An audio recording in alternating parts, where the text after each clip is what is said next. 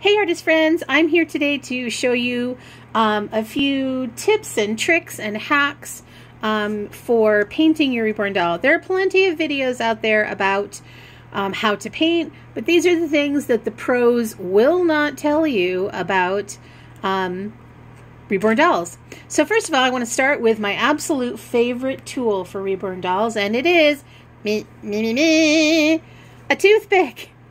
Toothpicks are awesome. So if you have some paint that's ac accidentally ended up in some crevices, you can use that toothpick to kind of um, lightly scrub it out. Um, now, it's best to use it as soon as you see a problem.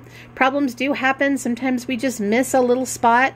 Um, put a little bit of thinner on it and just gently rub and scrub. And it's really great for getting in these little creases where paint loves to pool and stick. Um, also, um, I use a toothpick to make my fingernails. So for the longest time, I couldn't figure out how are these artists making these tiny, thin, you know, nails. Um, and I thought, oh, I just have to get a smaller and smaller and smaller brush. So, I mean, you probably could do that, but what I do is I just use the thinnest brush that I'm comfortable with. Um, I paint the line on there, and then I'll go through and just scrape and wipe and scrape and wipe and scrape and wipe until I get that nail as thin as I want it to be. So great tool, a toothpick.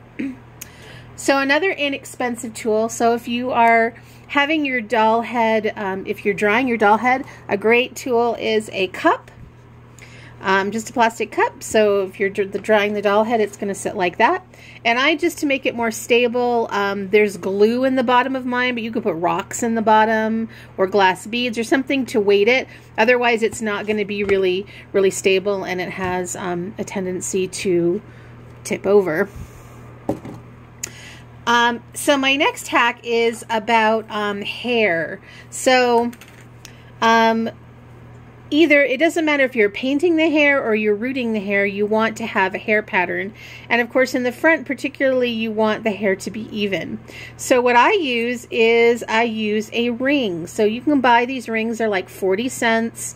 Um, and they're actually neck rings so they're used to put on the neck of the doll to make it easier for the doll's head to turn. But I use them because of their shape. They're perfect circles. So for example right here on the... okay, let's see if I can get you guys down a little bit.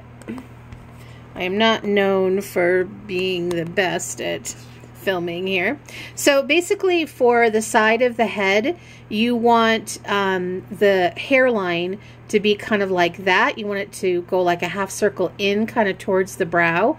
And then you want it to come back, back up like that. And then of course in the front of the head you want, you know, your perfect half circle shape and that's where this comes in.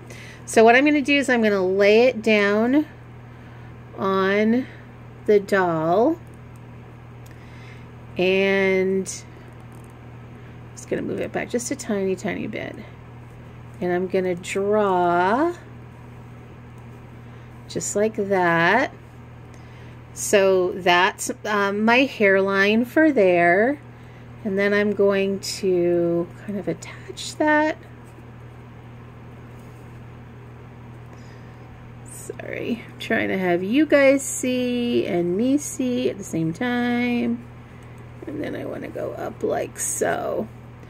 And you can see that's the shape that basically I want. I want it to go in towards the eyebrow and then back up.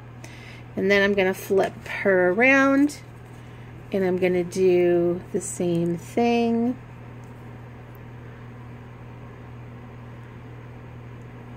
And it will be roughly the same, the same size.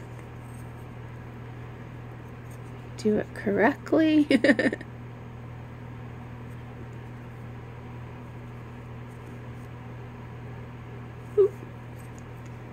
There we go.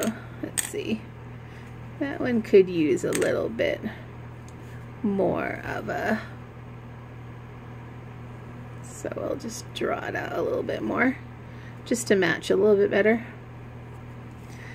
Okay, and then I'm going to come here on the on the top.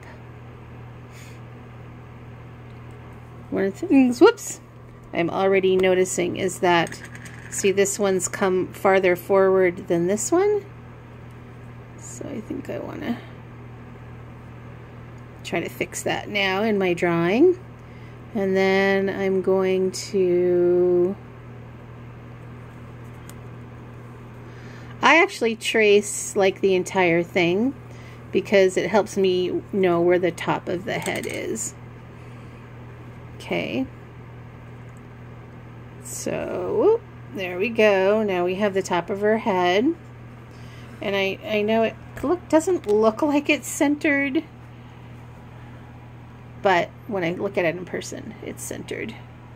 Awesome. So that's going to help me to, and that doesn't matter if I'm painting or rooting, um, it just is going to give me that nice shape of the hairline that um, I want it to be.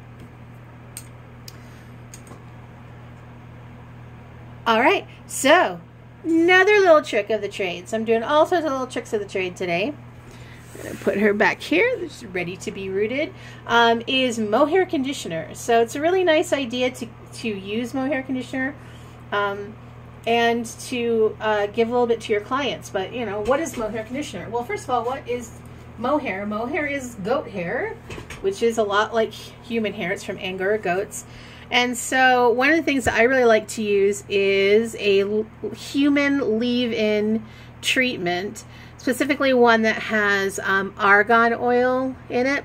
This is Infusium. You don't have to use this particular brand, but a leave-in treatment is a really nice idea. Now, when you're using this leave-in treatment, if you're a collector, you want, because it is oil-based, you really want to try to avoid the face if at all possible.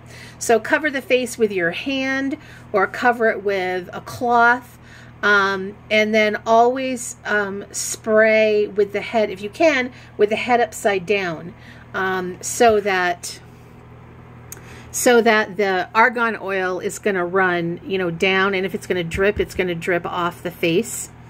Um, and you want to use that leave-in treatment probably you know, once a month or once every few months if you live, um, depending on the type of climate that you live in. So if you live in a very moist, um, humid climate, probably not as much, but if you live in a very dry climate, you want to, you want to do that. Um, is use your human leave-in treatment. All right, last thing I want to talk about is combing your reborn doll hair. Um, and what is good for combing hair?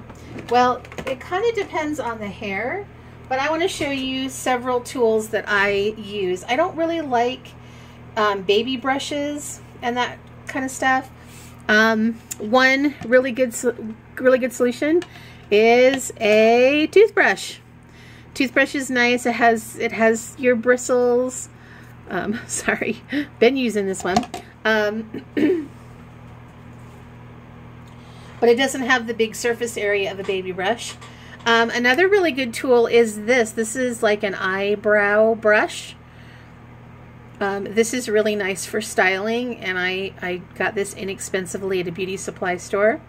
Um, and then one of these too. This is also um, supposed to be for eyebrow styling, but it also works really good for styling your reborn doll hair. You've got a softer side right here, and then you've got more of the comb side right there. So I hope you've enjoyed these tips and tricks and tools that will be great um, as you're working on your reborn dolls. TTFN, ta-ta for now.